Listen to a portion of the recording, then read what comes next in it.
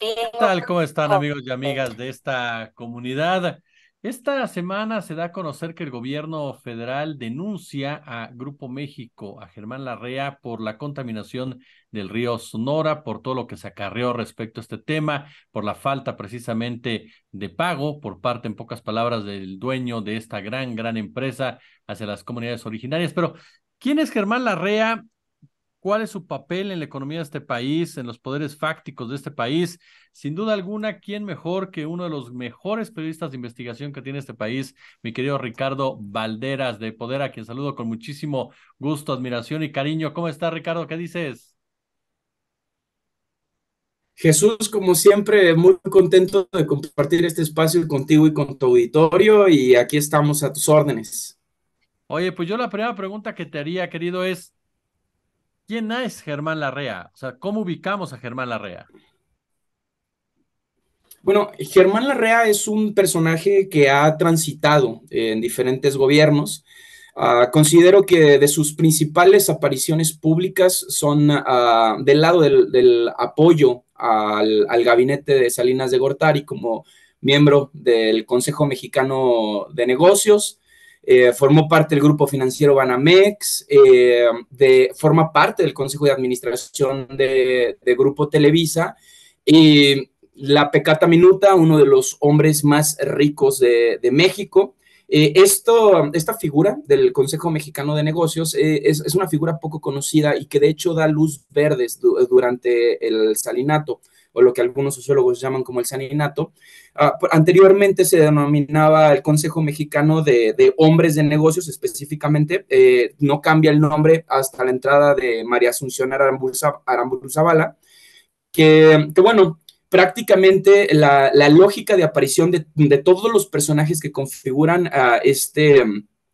Eh, es, una especie de cofradía ah, capital, era pues impulsar eh, todo lo, que durante el salinato y a posteriori a eh, configuraban el, periodo neoliberal. es por eso que esta palabra luego no sale de las mañaneras.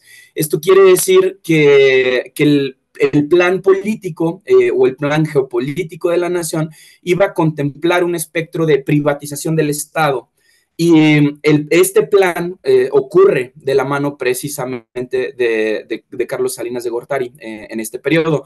Germán Larrea, bueno, eh, como ya lo mencioné, forma parte, luego es un grupo muy sectario que ya años después se confronta con el, con el grupo Monterrey, que, que son las dos cúpulas empresariales más grandes del país. Pero sin lugar a duda, el Consejo Mexicano de Negocios, a donde pertenece Germán Larrea, pues es el, más grande, el más poderoso y el que tiene más activos. Tan solo la última vez que, verifiqué el, listado de Secretaría de Haciendas en relación a um, las empresas de, Germán Larrea, aparecía más menos unas 42 razones sociales, obviamente con su diversificación de marcas y su diversificación en objeto social. Este personaje bien puede estar metido en la minería, como puede estar metido en, el eh, en producto químico, en la elaboración de telecomunicaciones como asesor de Grupo Televisa. Ah, es decir, eh, este grupo luego van rotando las mesas de coordinación de las empresas y con, con el objetivo de mantener este poderío. Eh, este es Germán Larrea. Involucrado en sectores claves de la economía, pero también que le permiten el despojo, como por ejemplo la misma minería, que difícilmente, y tú corrígeme por favor, hemos visto algún beneficio para el país como tal. El gran beneficio ha sido precisamente para un personaje como él. Bueno, Germán Larrea, Larrea como propietario y, presidente de, Grupo México, ha acumulado precisamente, como lo menciona, su fortuna eh, a través de la industria extractiva o del extractivismo. Esto quiere decir que, bueno, tras la aparición de este negocio, se pone en tela de, juicio o en, discusión eh, la contaminación al medio ambiente, la aparición de grupos criminales, hay que decirlo, ah, en cada proyecto minero o extractivista hay grupos criminales, y de hecho no es la excepción con lo ocurrido con el derrame del lixiviado de cobre en, el río Sonora. Ah, el, mismo Grupo México reconoce que hay minería ilegal en la región. Ah, pero hay un tema del que poco se habla en, relación al, uso de, las concesiones mineras y de las manifestaciones de impacto ambiental, que es quién regula el territorio concesionado. Es decir, una vez dándole el permiso, porque son permisos eh, a la industria privada, de, generar como, pues todo este proceso del, que ya hablas, ¿no? De devastación del medio ambiente, deforestación, contaminación de las aguas, destrucción de montes, sierras, que además son hábitat para diferentes especies, eh, no, no solo de, fauna, sino también de flora.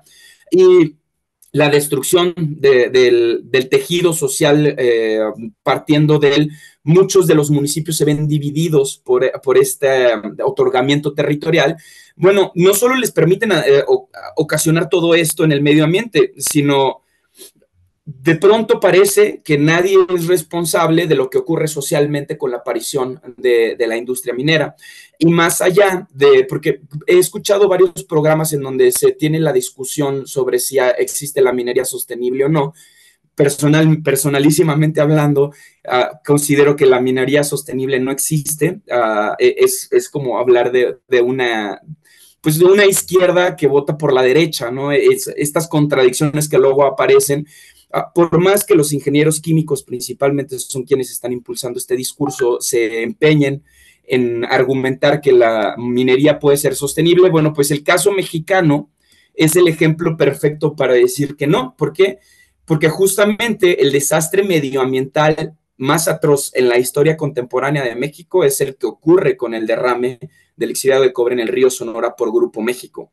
Es decir, lo que Grupo México llama un error en realidad pues nos, nos cuesta la vida, la salud, la cotidianidad, la seguridad de cientos y miles de pobladores y pobladoras de las que ahora mismo pues nadie se hace responsable, ¿no? Si tú le preguntas a las autoridades, bueno, como está concesionada la región o, la zona minera, pues es considerado temporalmente como un espacio privativo, pero ¿qué hay con toda la actividad ilegal ¿Qué ocurre? Se le puede imputar a Germán Larrea este reconocimiento de la minería ilegal en la zona donde él hace, en, la zona donde él practica la minería. Bueno, pues es una discusión que hay que tener, ¿no? más allá de si en serio la tecnología va a evolucionar al punto en el que la minería va a replantar y cuidar todos los árboles, a limpiar todo el agua que hemos visto durante 100 años que esto no ha ocurrido, 100 años hemos esperado que la minería cumpla con los estatutos mínimos para solventar los daños eh, que, que, han ejercido no solo en la región de Sonora, digo, ahora Sonora está en la boca de todos por justo el aniversario de nueve años del derrame y por el decreto de, de, de las autoridades respecto a que no hubo reparación del daño. Bueno, yo invito tanto a la audiencia como a las autoridades a escuchar a los comités de Cuenca. Tienen nueve años con algo de... ¿Hace falta en serio que el Estado tenga que decir si tienen razón?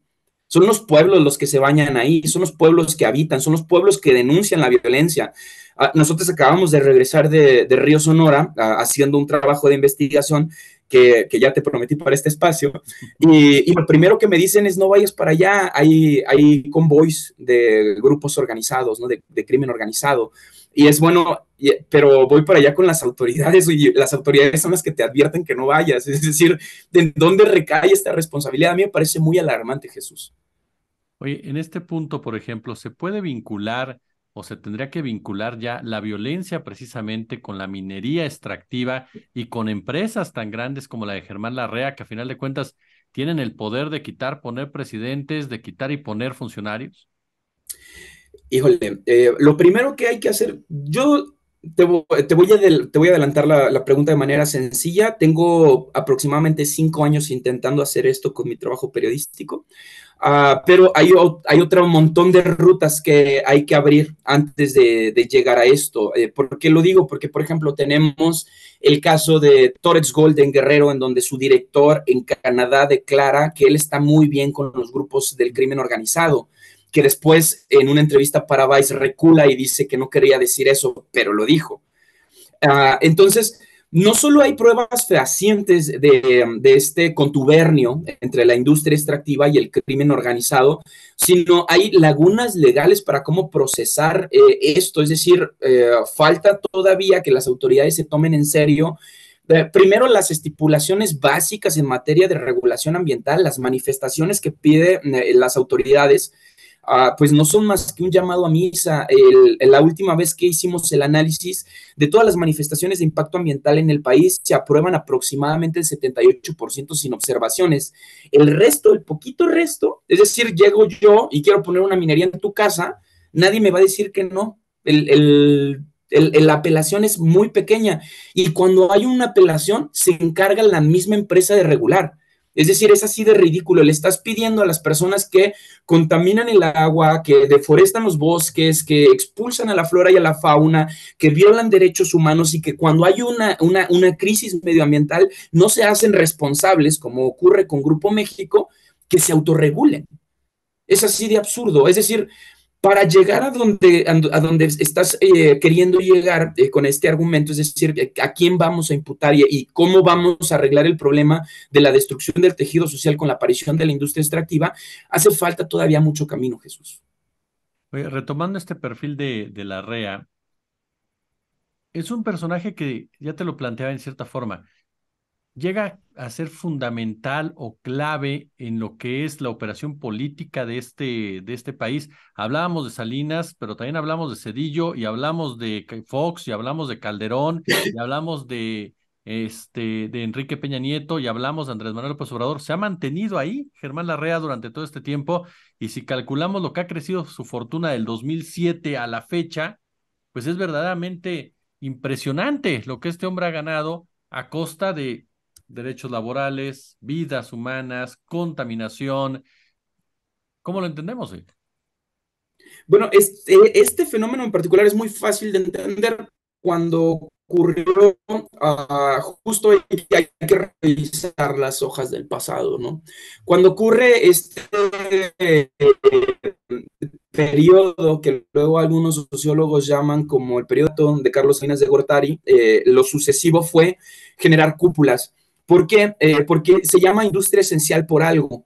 Eh, quien controla el, espectro de radio y de comunicación, por eso, eh, por eso Televisa peleaba el monopolio y hablamos de ley Televisa, por eso Monsanto estaba peleando el control de toda la industria y hablábamos de la ley Monsanto. Por eso la ley minera siempre favoreció a las cúpulas mineras como la de Germán Larrea, porque imagínate en un, en un proceso de crisis, por eso, por eso estas permanentes crisis son tan necesarias para el status quo. Imagínate que en mitad de la crisis sanitaria mundial se te cae el 2% del PIB porque Germán Larrea de pronto desaparece y ya dejamos de producir oro, zinc y em, cobre, que bueno, bueno, ahí está el cobre donde ocurre el desastre, eh, es la mina de cobre más grande del país. Eh, pues imagínate, en mitad de una crisis, de pronto prescindir de todos los activos que genera, que ya se le entregaron, porque luego estas concesiones son además muy mañosas, eh, como la que ocurre con Odebrecht Ambiental, en donde se le concesiona el agua por 50 años, es decir, qué proyecto y, en qué cabeza cabe que el agua va a costar lo mismo durante 50 años, porque el gobierno estandariza los precios de las concesiones a 50 años para jalar mucho recurso y aparentar operatividad política, y lo que están haciendo en realidad es embargar el futuro. Posteriormente ya no hay nada que embargar y entonces tienes a estos agentes del capital con total control. Por eso se argumenta que el Consejo Mexicano de Negocios, a posteriori del periodo de Salinas de Gortari, puso a todos los presidentes de la República porque controlaban las telecomunicaciones, la industria minera, la industria de la salud, la industria educativa, y ese era el afán de privatizar absolutamente todo. Al final del día no era otra cosa más que la desarticulación del Estado. Mi querido y admirado Ricardo Valderas, yo como siempre, de verdad, honrado de que estés con nosotros y nos permitas conocer tus puntos de vista. Querido Jesús, como siempre, un gusto, diría usted.